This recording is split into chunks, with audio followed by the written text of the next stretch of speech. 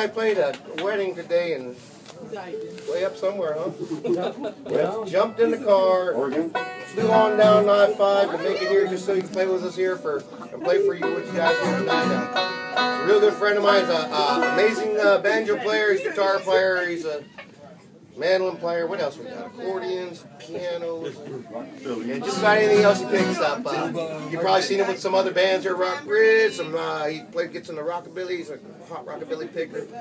Man, I just I better shut up. There's too much to say about this guy. My real good friend. Uh, real proud to be in a band with him here. Please make welcome Mr. Victor Skidanenko.